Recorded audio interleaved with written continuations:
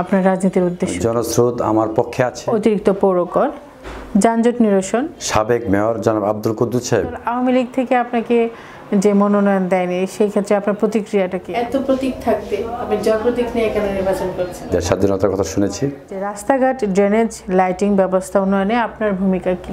দেশটাকে ধ্বংসের দিকে ঠেলে দিচ্ছে। মানে ইভিএম নিয়ে আপনার মন্তব্য কি?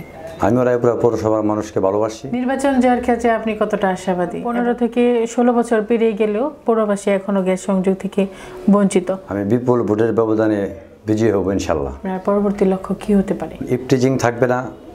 আমি দীর্ঘদিন যাবৎ রাজনীতি করে আসছি। রাস্তাঘাট ড্রেনেজ ব্যবস্থা বর্জ্য পাবলিক টয়লেট পয় নিষ্কাশন ব্যবস্থা। প্রত্যেকটা মানুষের প্রত্যাশা। ন্যায় বিচার প্রতিষ্ঠা। প্রত্যেকটা ওয়ার্ডে এবং প্রত্যেকটা বাজারে মাদক নিয়ন্ত্রণে আপনার ভূমিকা? রায়পুরা পৌরসভার যে করুণ অবস্থা নতুন কোনো অনুষ্ঠানে নতুন কোনো আয়োজনে শিল্প কারখানা অবশ্যই জরুরি। আমাদের রেললাইনের উপর দিয়ে ফ্লাইওভার নেই উনি বিএনপি থেকে দুই দুইবার মেয়র হয়েছেন।